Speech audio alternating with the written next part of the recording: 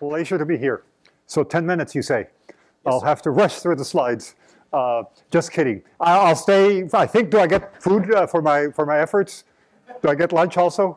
If you're willing to stay for lunch, you get food, and I'm sure there are a lot of people here who will be okay. to talk to you. So I'll stay. I'll, I'll give you my 10 minute uh, spiel. Nine minutes now, I guess. Uh, and I'll hang around uh, for lunch. So if you have questions or you want to talk about this, uh, I'll be happy to to talk to you. So as Steve said we're trying to put together this Center Initiative Institute. It doesn't have a formal name because it doesn't exist yet. We're just in the process of getting organized. Uh, why do we want to do this? Well, I guess for this audience, I don't have to explain why big data or data analytics is important, so I'll skip this slide. Uh, next slide is that, as I said, we're working on this, so uh, things are being defined. Uh, but this slide sort of tells you why we want to do this. Uh, there's a lot of activities related to data, data, big data, analytics, data science at Stanford and elsewhere, and we're trying to bring together the resources, have people that work at the core algorithms engineering side of uh, data science work together with domain scientists in energy and environment, in medicine, social science, uh, and so on, because we think it's a real benefit for the researchers in one area to interact with researchers in another area. But in addition to just fostering research, we want to provide a, a resource for this community. Uh, for example, a lot of us are interested in Twitter data, which is, uh, I'm sure I don't have to explain what Twitter is, um, uh, but it's a lot of work to get Twitter. It's a huge data set. It's changing constantly. You have to negotiate with Twitter or pay lots of money to get it. And a lot of professors at Stanford and companies are doing this. So wouldn't it be nice to have this center get one copy for Stanford that we could all share and, and, and use together? So that's the goal. We already are negotiating with Twitter. Uh, we're trying to get Google Books, for example, to give us data. Uh, some of the corporate partners might give us additional data. Some of it might be restricted in the way we can use it. Some of it will be open. But that's another one of the goals, provide this repository of tools uh, and useful data sets uh, to support the research.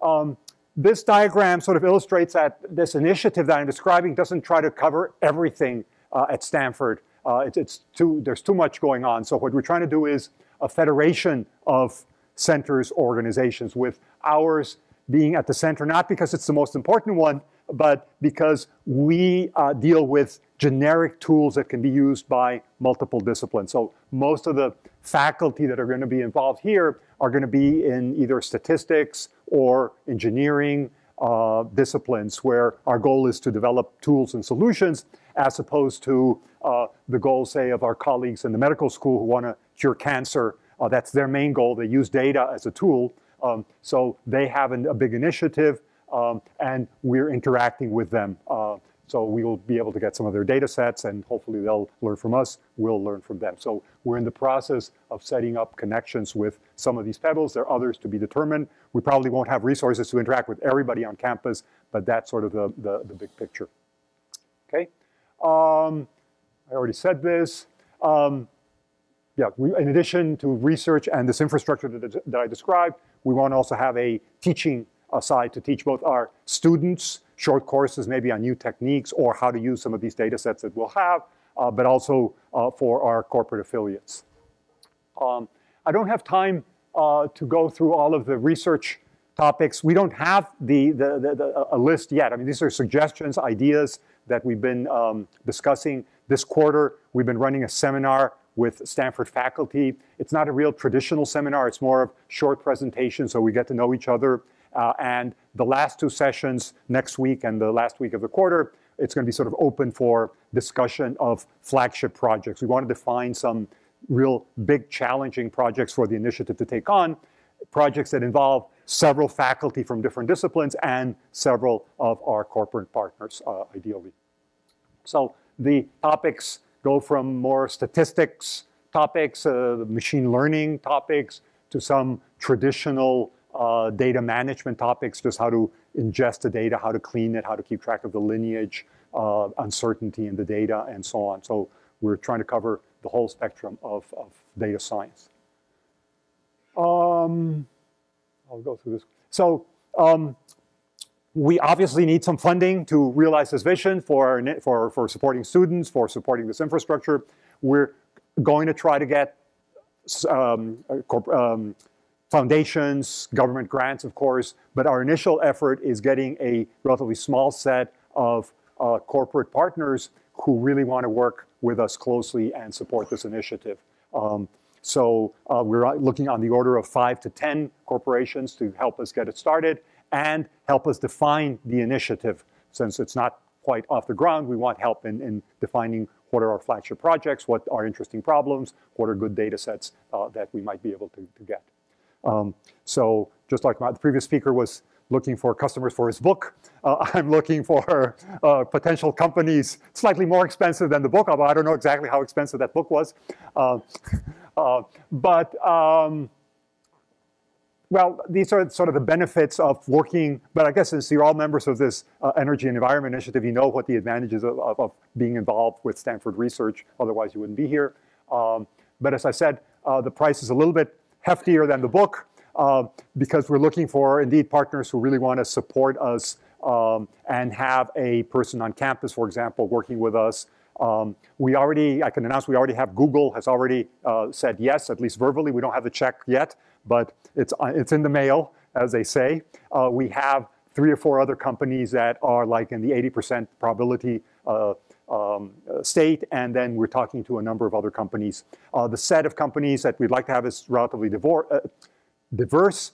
Uh, we have some technology companies like Google and, and others uh, that we're talking to, and then we have um, application companies, uh, insurance companies, banking, manufacturing companies, uh, oil companies. We've been talking to some oil companies that I think are quite interested in this. Um, so um, last slide.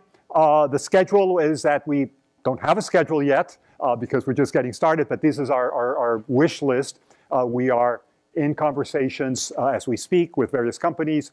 Hopefully by the end of the summer or starting of next quarter, we'll have at least an initial set of companies and we can officially uh, kick off. So I still have maybe a minute for any short questions. And then, as I said, I'll be around for lunch if you want to um, um, talk to me. Thank you, Hector.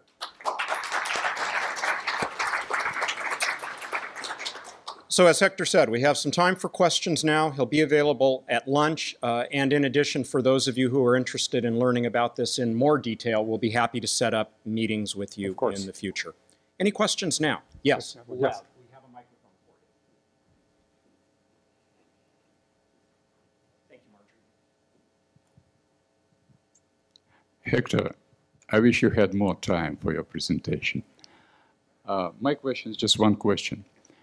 Uh, in, we usually want to understand in a short way, in the form of motor, what particular science is doing. If I take inversion, for example, which is part probably of the problems you're describing here, I would say that what I expect from inversion is taking data and obtaining parameters of the Earth or some other objects which can be parameterized.